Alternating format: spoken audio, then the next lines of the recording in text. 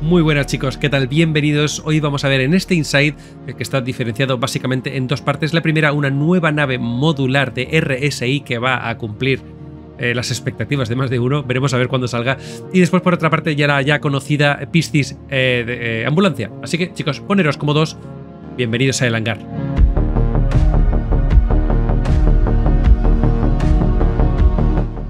Bueno chicos, pues empieza el vídeo y básicamente lo que nos quieren decir es que el juego de multirol está muy bien porque tienes muchas eh, opciones ¿no? a la hora de hacer las cosas. Hay veces que te apetece eh, ir un poquito de, comprar, vender, eh, utilizar minería. Está muy bien porque a lo mejor un día te apetece hacer cazar recompensas y, y, vas con otra nave y lo haces.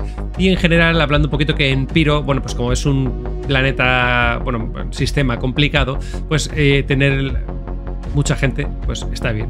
Entonces nos van a presentar en esa idea, pues la hermana mayor de la, de la Connie, que es la clase Galaxy.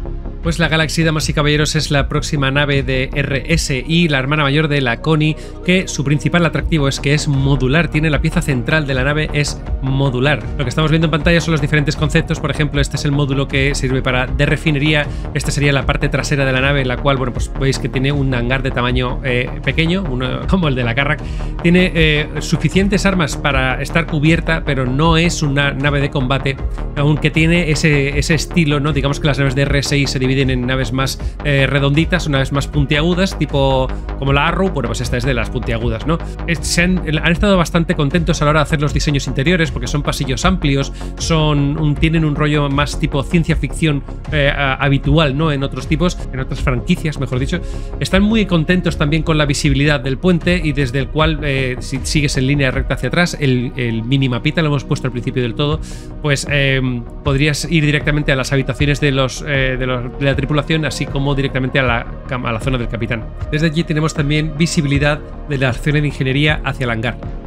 Aquí tenemos lo que sería el primer módulo, el módulo de transporte, el cual le permitiría tener una enorme cantidad de productos. Aquí el segundo módulo, el módulo de refinería, el cual pues te permite refinar, por ejemplo, si vas con una una mole, pues te, puedes refinarle. Y por último, el módulo eh, de, enfermería, el cual me parece increíblemente interesante porque parece que tiene los tres tipos de camas, lo cual lo convertiría en la nave de eh, medicina más pro de todas hasta el momento. Así que, pues me parece muy, muy interesante.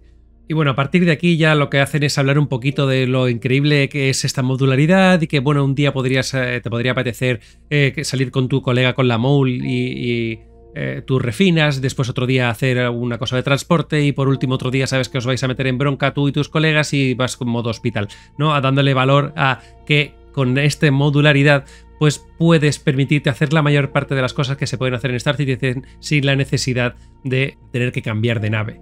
¿no? Después, cómo va a ser esto en el juego está por ver. Y el precio que tendrá también. Eso lo veremos más adelante. Pero en principio, bueno, pues parece una nave muy, muy, muy apetecible. Yo lo dejo ahí.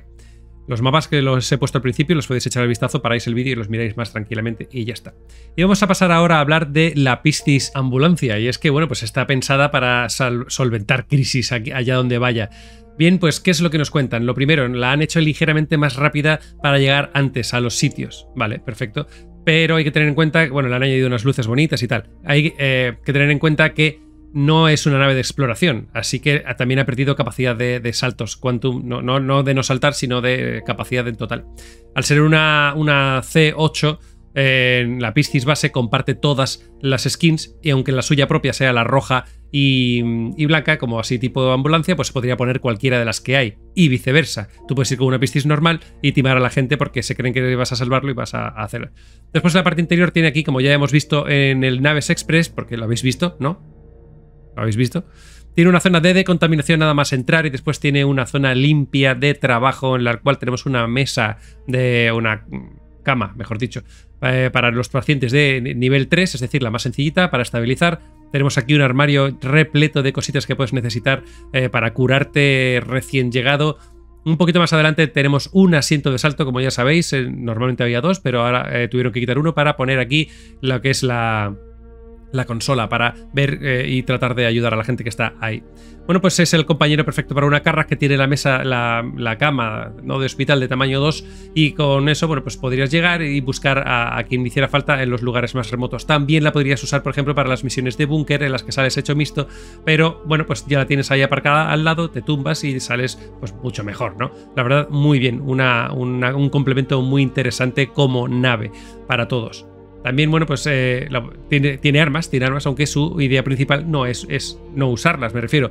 Si las tienes que usar, las usas, pero no es ni mucho menos su foco central de nave. Su foco central es ayudar a la gente, o a tus colegas, o a ti mismo, pero desde luego no es ese.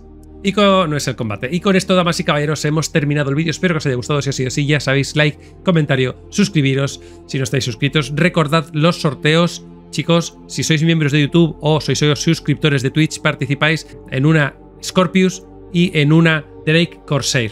¿Vale? Va a ser eh, el sorteo, se hará probablemente el sábado 26. Tenedlo en cuenta. Chicos, un saludo, nos vemos en el universo.